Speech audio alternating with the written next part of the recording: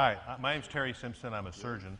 And one of the things that we discovered a number of years ago doing surgery on weight loss patients was how people who are obese are, have gluten issues that they didn't know. Because the classic gluten intolerant individual that we were taught in medical school is this thin little person who loses weight. And we showed that it's not that at all, and there is a lot of morbid obesity as a result of gluten issues. Great. Um, I'm Nicole Hunn. I am a gluten free blogger and cookbook author. That's it. no big discoveries. Great yet, at least. I'm Jenna Drew, Miss New Jersey International. I became gluten free when I was diagnosed with celiac disease in 2009. So it's not really a choice to eat gluten free, but I do it every day. I'm Rossana Wyatt. Um, I'm a gluten-free foodie, I guess. Um, I have been gluten-free for about three and a half years, and um, I, it started as a journey through when I was trying to get um, the food changed around for my husband's diet when he was going through cancer treatment. So I decided I'd do something for myself at the same time because I was going through some issues as well. So now I'm feeling better, and so is he. Great. So, um, uh, Dr. Simpson, maybe it's easier if you kind of uh, drive the questions here, but maybe you could um, first just tell us about some of the research and findings you've found in your practice. Well, one of the things about weight loss surgery is we get to see guts. And it turns out everybody up on the panel here loves guts and blood and things like that. We love your He guts. actually wanted to do, do and I surgery. offered, I offered to biopsy her here on the panel. I true. thought He that did. if I thought that if Jeff could do it one-handed, I could do a biopsy of her gut, Two handed. two-handed. Yeah. So, well, anyway, one of the things about doing weight loss surgery, or certain of the types, is is that we have a little bit of extra uh, gut left over. So I started biopsying all of these individuals when I noticed that there were a number of weight loss patients who, after surgery, had these horrible problems, and we would put them on very specific diets, and all of a sudden they cured up. And when they would cheat, all of a sudden they would have all these horrible problems again malabsorption, vitamin B, you know, iron, potassium, calcium, everything. So we started looking at those biopsies, and we started seeing that all of these people had classic biopsy signs in their distal small bowel of gluten intolerance. So then we started biopsying all of these morbidly obese patients who were coming through as we were doing surgery on them, and we found an astonishing number of them. So then we started working backwards and saying, what, what, what were the foods that they, and we're going to talk about that later, but what were the foods that they were eating? And why did they get to where they were? And then one of the things that we discovered is the foods they were eating was stuff to keep them alive because they were, they were morbidly obese and malnourished. And they were malnourished because they couldn't absorb anything in their small bowel. They were starving, but they stored fat because they would eat high gluten things that would give them energy for this long, and then they would burn out and they would store a lot of fat, but they wouldn't store a lot of nutrition. Mm-hmm. So our journey and our focus in our practice then has been a lot of what you do, which is let's teach them how to cook. Really? Really? We just met, so. well, tell us a little bit about what you write and why you started writing. Um, my son has celiac disease. He was very, very sick um, in, his, in the second half of his infancy. Um, and we, you know, once we learned what was going on with him, that was by now almost nine years ago. And I didn't even know what gluten was at the time. Um, I just felt like I want my son to have a cupcake, which is, I would imagine, not what you're going for with your patients. But all the same, I didn't want him to be able to eat cupcakes all the time. But My, my patients do usually They- eat a lot of they do like yeah, cupcakes. before surgery. Right. Okay. Okay, I'll have to think on that. Um, but in any event, I, I often, I would imagine actually that when people find that they can't have something, they cannot have something, like for example, I'll have readers tell me, you know, I've been, I haven't had a fresh donut in, you know, five years or something like that. And before, I didn't even care about donuts. But just the idea that they couldn't have it, I think the more choice you feel like you have, especially in a society like ours, where you're, we're used to having so much choice, I would imagine that, or at least it's been my experience, that you can regulate yourself more readily when you don't feel like anything other than gluten itself is completely out of reach or whatever other foods you, are, you find that you can't tolerate, um, that your system can't tolerate. And so my feeling is I don't tell people whether or not to be gluten free, but once you decide that you are, and it's a big tent, I don't care why you're gluten free. It could be because you're diagnosed with celiac disease, which is sort of like the gold standard, right? Like everybody understands villi. the villi. I, everybody understands then you have to be gluten free. And then all the way down to you just sort of feel better. You feel more clear headed. Whatever your reason is, I feel like you should be able to do it and have it be pleasurable and allow you to be social with the people in your life so that it doesn't get in the way. I, my aim is to just remove it as an impediment. Mm-hmm. Well, and how, how do people feel differently once they embark on a gluten free diet? I think often they feel isolated from from other people and from themselves. And I think that at least for me with my son, one of the biggest early barriers was family members who refused to accept the fact that he needed to be That's very strictly gluten free. The biggest the one is big family issue. members, um, like outside the, your, your immediate family, because they don't understand. They say, "Oh, it's okay. You can just have this little bit." Just has a little bit of gluten. No, you don't understand. Yeah. Well, if, if you ever if you ever want to see, you know, uh, if, if anybody's ever wondering if you really have an issue with gluten or not, and again, you don't have to be gluten free because you think it's cool. If you really have a problem with gluten, you need to be gluten free. It's not a choice. Completely. Ask her; she'll tell you where she was. She'll tell your story in a second. The bottom line is that you go gluten free for two weeks. Absolutely avoid it. Look at every label. Start cooking yourself. Don't work it that way. You don't have to Don't worry about labels. Well, don't. Well, you know. I mean, Hannibal. We talked about that earlier. A lot of there's not. You know, the cannibals have no gluten problem. Okay, that's the cannibal. But the bottom line is two weeks, and then try one wheat thin. And trust me, if you have celiac disease, within a very short period of time, you will feel on one wheat thin feel miserable. It's much cheaper than having me biopsy your gut, but And you know, we can do it on too. stage. But you had a, you had quite an experience with that yourself about how. Yeah.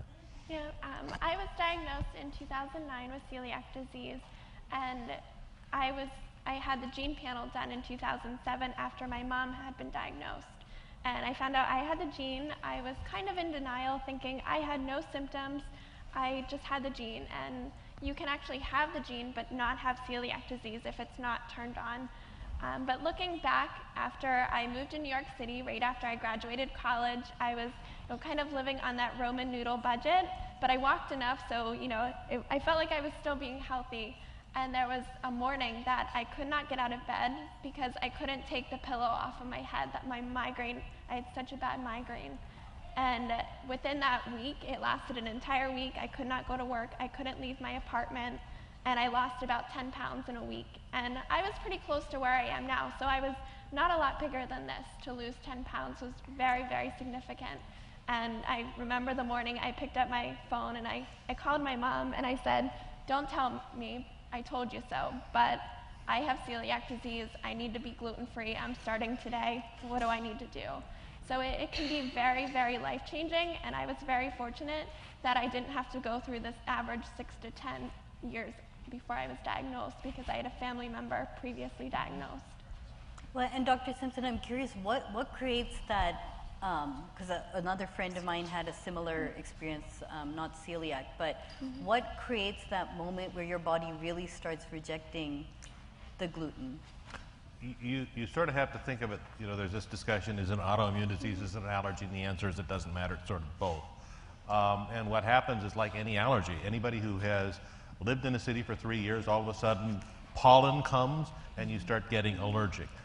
Gluten is the same way. If you have a problem with it, you're okay with it for a little while, and all of a sudden your body says, you know, we're not so happy. It's like an allergy, and the more times you do it, the worse it gets, and the worse it gets. You can mask it for a long time, mm-hmm. but if you look inside, it's like heart disease. You can mask it for a long time, and then boom. And I think it's the stressors that you have in your life as well that are going on. I mean, I know that with you, you said you just moved and everything, and, and the same with us. At this, the time that I was feeling really bad, we had just moved. Um, I changed jobs, and then my husband was diagnosed with cancer, so it was just like everything coming on. So I think the stress in your life at the time actually kickstarts it. Well, boosts it certainly, because under stress, your whole inflammatory system goes wild, which means that if you have any allergy to anything, it's just going to be magnified. So, and what are specifically, um, just for someone who's not gluten free, what are um, the foods that um, have a lot of gluten? And you said to test it out, so I'm curious um, do you have specific foods to avoid that we wouldn't even think are the normal suspects? Beer. Like hidden sources of gluten? Yeah. Yeah. You know, most packaged foods, Anything with a package. Processed. yeah, most packaged processed. foods will have some sort of source of, you know, it, it might not be, like, for example, you might think, like, why aren't regular Rice Krispies gluten free? They have gluten free Rice Krispies. Why did they have to make that? Because they used malt flavoring, because back when those cereals were first formulated, that was the cheapest source um, of, that was the cheapest sugar they could find. So that's what they used. Um, same thing with cornflakes. You'd think that they would be gluten free. They're not gluten free. It's often a source that's not necessarily traditionally from wheat. It's also, it finds its way into strange things like um, hair products frequently will have Lipstick. Lipstick, vital wheat Specific. gluten. um, uh, hand, skin cream, Right, it's everything. very, that's very common. Shampoo. but my feeling is if you feel like, oh, oh my gosh, all of a sudden I have to be gluten free and I don't know what to do, if you're not even at the point where you're ready to really put things together to cook and bake, then why not just start eating just regular whole Mm-hmm. foods, not grains? Pro, all proteins, all vegetables, all fruits, they're all going to be gluten free. So you can always You know the periphery of the grocery store? Yes. That middle section? That's- There's, there's no real reason to be in there, but. Yeah, you know. no, it's true. The periphery is the best. And just all produce, all whole natural foods, are the best things for you. I mean, and you Um, don't have to go. I think uh, Jeff said that you were the first person he had met who was gluten free. Yeah. Tell us a little bit about your story and um, how you've talked to other people about it as. Um, well, uh, people always, when I first tell people that I'm gluten free, they say, oh my God, that must be so hard. And I say, no, it's not because, um, and I guess it, I, I've just decided this is the way I'm going to be, and, and I've just gone ahead and done it. But um, if you just eat, um, like I said, whole, all natural foods, it's, it, it, it's really quite simple. And, and what I find sometimes too, because we do a lot, of, do go to a lot of events, I eat beforehand just in case because you know what? I can't depend on somebody saying, "Oh yeah, sure, it's gluten free," and then I get sick. So you know, you tend to adjust your lifestyle a little bit um, because of, of that. But otherwise, it's not that difficult, and it's not. Um, you know, when people ask me, I tell them what I do, um, how I eat, um, and I, I do uh, uh, what, well, same with, with Nicole. Um, you take pictures of some of the foods that you have made, and people say, "Oh, that looks so amazing!" And I've actually taken like um, cookies and things to different places, and they say, "This is gluten free. It can't be gluten free. It's so good. It doesn't gluten free doesn't have to have, be bad. It's just they, they used to make it really bad, um, and you had nothing, Yeah, it no used other to be choice. really, really bad. It was. I, I just would like to say something that's really important to me is that a lot of it still is really bad. And very Um, expensive. And, Yes, right, expensive, exactly, yes. exactly. But, yeah. And, and so I, you know, and I will still hear on, in, in media, I will still hear people who should be much more knowledgeable and have much higher standards say, well, it's good for gluten free. If I never hear that phrase again, good for gluten free should be completely gone from the lexicon. It should just be good, Yeah. plain good. And if it's not plain good where you can serve it, look, for me, I knew I had young children and they were going to bring their friends over. So it couldn't just be what my son and his sisters would eat because they're hungry. They're going to eat when I give them. It had to be their friends who, especially when they're very young, they don't generally have very good manners and they're going to say, that's disgusting and push it away. It had to pass like the snotty somebody Yeah. else's kid Well, test. I know, and I had because my daughter's gluten free as well, and I had made her um, a chocolate, a flourless chocolate cake for her birthday party, um, and I had all the girls over, and I had the girls licking their plates. Um, it was so Why good. didn't you bring some? Sorry, it doesn't travel well. um, but uh, and it's they couldn't believe that it was gluten free, and, and I think that's the thing that everyone thinks is gluten free food is not good food, and it can be. Um, you know, you don't have to buy the stuff that's out there all the time. You can actually make your own, and your your the stuff that you make. and There are tons of recipes out there. Nicole has amazing recipes. Go to her blog; it's wonderful. Um, you drool over the pictures, but uh, Can, they you, are can you list what's your blog address again? Oh, sure. It's glutenfreeonashoestring.com because it doesn't have to be expensive. no. And I think a very important part of going gluten free is having a support group to understand not only why you're going gluten free, because like we said, it doesn't matter if it's because you have to or if because it makes you feel better.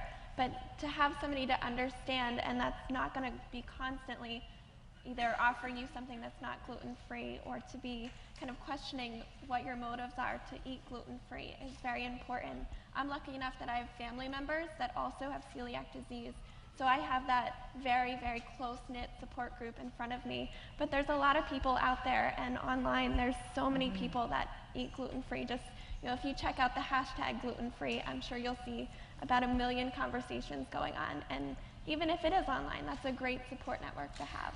The other thing is this, is there are choices everywhere that are mm-hmm. gluten-free. Mm-hmm. And do yourself a favor. You know, there are certain people that, that you learn who they are because within seven seconds they'll tell you, I'm gluten-free, I'm a vegetarian, I'm an atheist, I'm born again. The list. You know, they're, they're, they're, they're just, you're just going to know that. And the bottom line is, don't be one of those people. You know, when you, when you, when you go somewhere, you Don't be a sort of- vegetarian. right.